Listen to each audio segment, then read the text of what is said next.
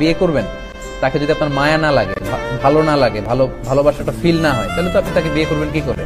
আমি বলি যে, যাকে ভালোবাসবেন তাকেই বিয়ে করবেন জীবনে। যাকে